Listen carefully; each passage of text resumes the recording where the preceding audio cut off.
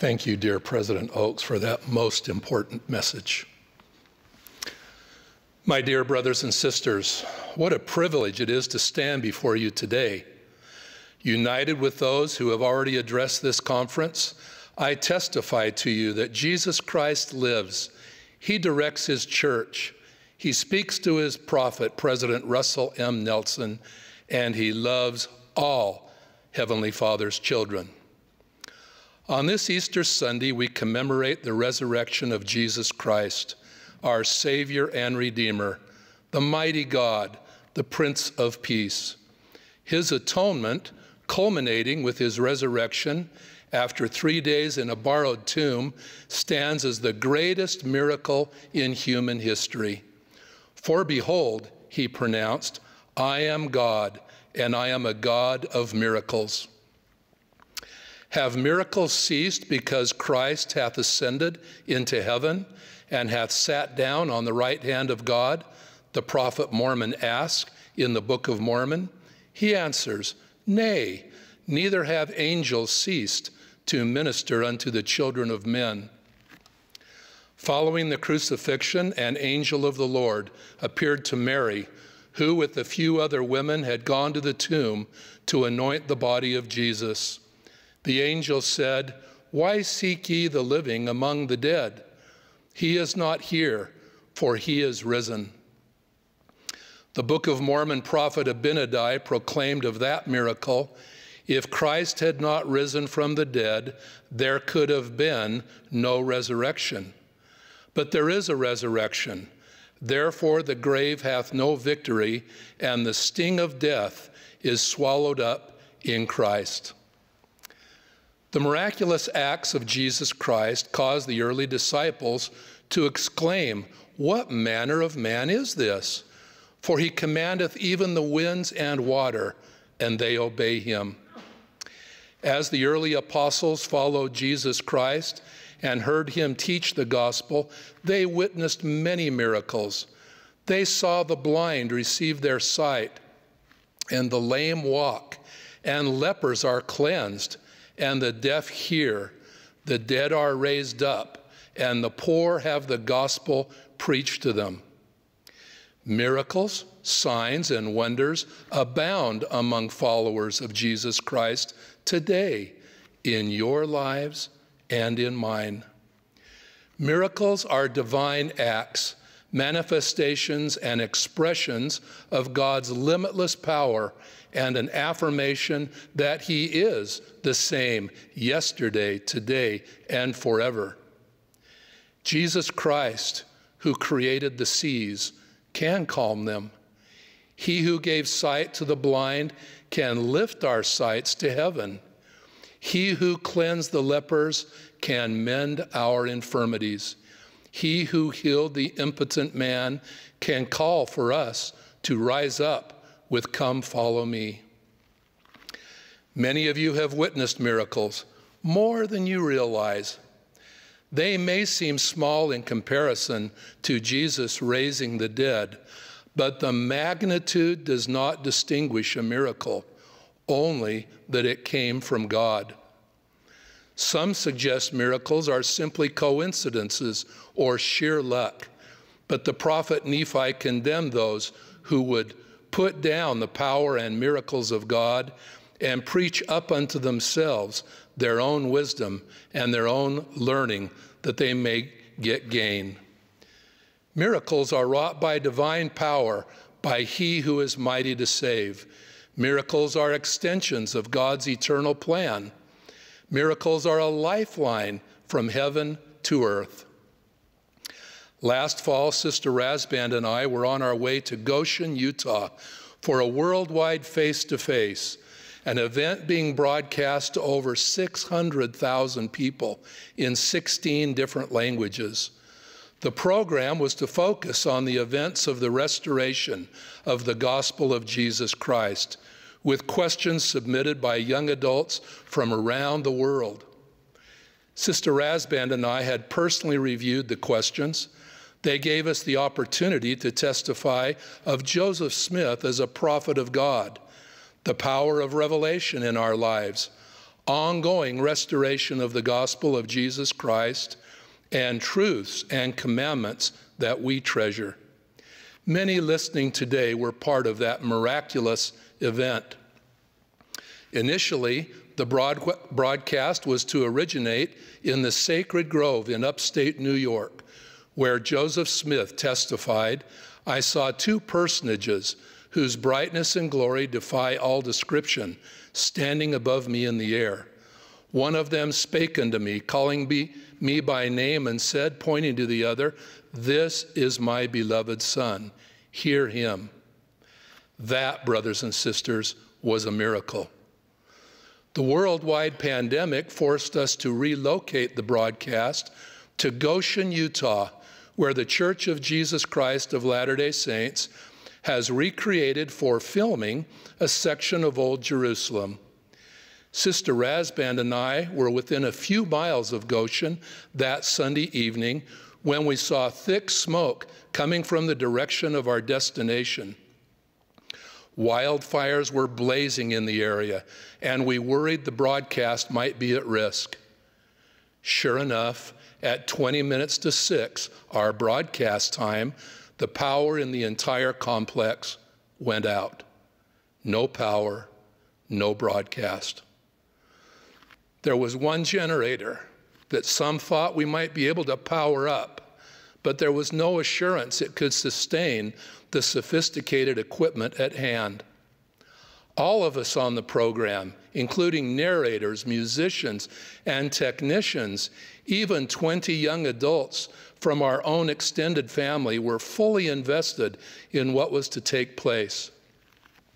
I stepped away from their tears and confusion and pleaded with the Lord for a miracle. Heavenly Father, I prayed, I have rarely asked for a miracle, but I am asking for one now. This meeting must happen for all our young adults around the world. We need the power to go on if it be thy will. Seven minutes after six, as quickly as the power had gone out, it came back on. Everything started working from the music and microphones to the videos and all the transmission equipment. We were off and running. We had experienced a miracle. As Sister Rasband and I were in the car returning home later that evening, President and Sister Nelson texted us with this message Ron, we want you to know that as soon as we heard the power was out, we prayed for a miracle. In latter day scripture, it is written, For I, the Lord, have put forth my hand to exert the powers of heaven. Ye cannot see it now, yet a little while, and ye shall see it, and know that I am, and I will come and reign with my people. That is exactly what happened. The Lord had put forth his hand, and the power came on. Miracles are worked through the power of faith, as President Nelson so powerfully taught us in the last session. The prophet Moroni exhorted the people if there be no faith among the children of men, God can do no miracle among them. Wherefore he showed not himself until after their faith. He continues, Behold, it was the faith of Alma and Amulek that caused the prison to tumble to the earth. Behold, it was the faith of Nephi and Lehi that wrought the change upon the Lamanites, that they were baptized with fire and with the Holy Ghost. Behold, it was the faith of Ammon and his brethren which wrought so great a miracle among the Lamanites. And neither at any time hath any wrought miracles until after their faith. Wherefore they first believed in the Son of God. I could add to that sequence of scriptures. It was the faith of earnest young adult performers, broadcast professionals, church leaders and members, an apostle and a prophet of God that sought so great a miracle that the power was restored to a remote movie set in Goshen, Utah. Miracles can come as answers to prayers. They are not always what we ask for or what we expect. But when we trust in the Lord, He will be there and He will be right. He will suit the miracle to the moment we need it. The Lord performs miracles to remind us of His power, His love for us, His reach from the heavens to our mortal experience, and His desire to teach of that which is of most worth. He that hath faith in me to be healed, he said to the saints in 1831, and the promise continues today, and is not appointed unto death, shall be healed. There are laws decreed in the heavens, and we are always subject to them. There are times we hope for a miracle to heal a loved one, to reverse an unjust act, or soften the heart of a bitter or disillusioned soul looking at things through mortal eyes, we want the Lord to intervene to fix what is broken. Through faith, the miracle will come, though not necessarily on our timetable or with the resolution we desired. Does that mean we are less than faithful or do not merit his intervention? No. We are beloved of the Lord. He gave his life for us and his atonement continues to release us from burdens and sin as we repent and draw close to him. The Lord has reminded us, Neither are your ways my ways, he offers. Come unto me, all ye that labor and are heavy laden, and I will give you rest. Rest from worry, disappointment, fear, disobedience, concern for loved ones, for lost or broken dreams. Peace amidst confusion or sorrow is a miracle. Remember the Lord's words? Did I not speak peace to your mind concerning the matter? What greater witness can you have than from God? The miracle is that Jesus Christ, the great Jehovah, the Son of the Highest, is responding with peace. Just as he appeared to Mary in the garden, calling her by name, he calls to us to exercise our faith. Mary was looking to serve him and care for him. His resurrection was not what she expected, but it was according to the great plan of happiness. Come down from the cross. The crowd of non believers jeered at him on Calvary. He could have performed such a miracle, but he knew the end from the beginning and he intended to be faithful to his Father's plan. That example should not be lost on us. To us in times of trial, he has said, Behold the wounds which pierced my side, and also the prints of the nails in my hands and feet.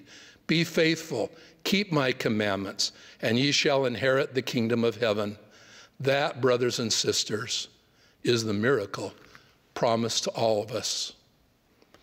On this Easter Sunday, as we celebrate the miracle of our Lord's resurrection, as an apostle of Jesus Christ, I humbly pray that you will feel the power of the Redeemer in your life, that your appeals to our Heavenly Father will be answered with the love and commitment Jesus Christ demonstrated throughout his ministry. I pray that you may stand steadfast and faithful in all that is to come and I bless you that miracles will attend you as we experienced in Goshen, if it be the Lord's will.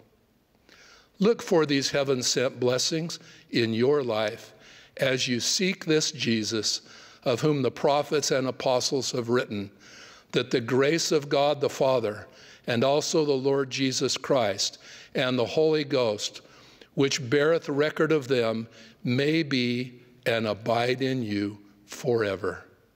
In the name of Jesus Christ, amen.